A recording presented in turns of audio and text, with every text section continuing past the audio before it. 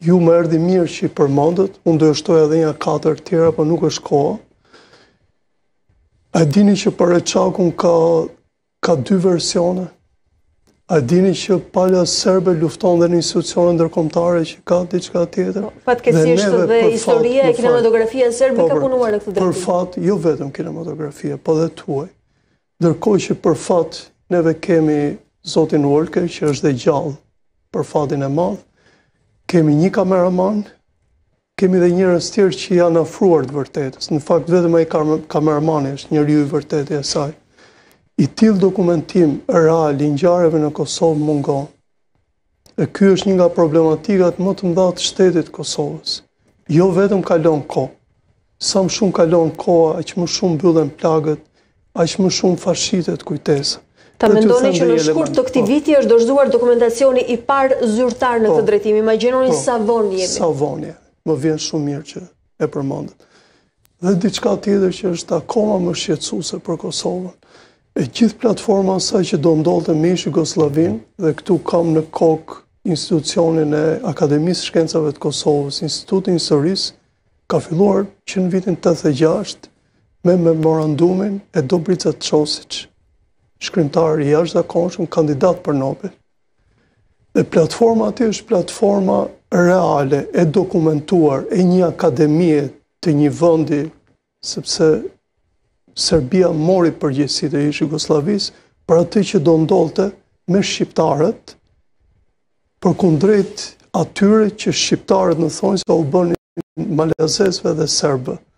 Dhe ky është një dokument bazik që tashmë është temë për njerëzit që merren me studimet, por që akoma nuk merret nga institucionet tona dhe që aty të fillojë të ndërtohet narracioni se si shqiptarët mbas nëntëdhjetës u gjendën përballë këtij presioni të jashtëzakonshëm, se ndërkohë që Kroacia mori armët dhe kishte për fatin e saj, kishte edhe ndihmën e e fuqive të mëdha, Kosova u gjend në kushtet më të disfavorshme Madje rezistenca që kanë bërë ata, rezistenca e pavarur, përveç njerëzve të LPK-s që në mendimin tim kanë bërë gjëra të jashtëzakonshme, ka qenë një gjë par excellence në në ish Jugosllavi. Të papërgatitur dhe të sponsorizuar në mënyrë po. amatoreske për kohën. Po, diçka po dhe Shqipëria e ka ndihmuar, me mundësi dhe sa e ka po. ndihmuar. Ajo ishte referenca në fakt. Po. Shqipëria dhe diaspora shqiptare. Ka ardhur momenti që të gjitha këto duhet të lidhen me një fill. Po ja ku jemi sot, Kosova nuk zgjidh dot pjesën e veteranëve. Dhe tashmë në Kosovë është një nga tre, një në tre veta është veteran. Ndërkohë që njerëzit e UÇK-së e dinë, sepse kishin përballë një armatë shumë shumë sofistikuar dhe ishin pak ata që luftonin dhe vullnetarët që erdhën. Një pjesë e tyre krejt amatorë, Po shumë idealistë. Ndërkohë që tani në Kosovë nuk zgjidhin dot pjesën e kësaj, që është pjesa më e dukshme dhe janë të gjallë.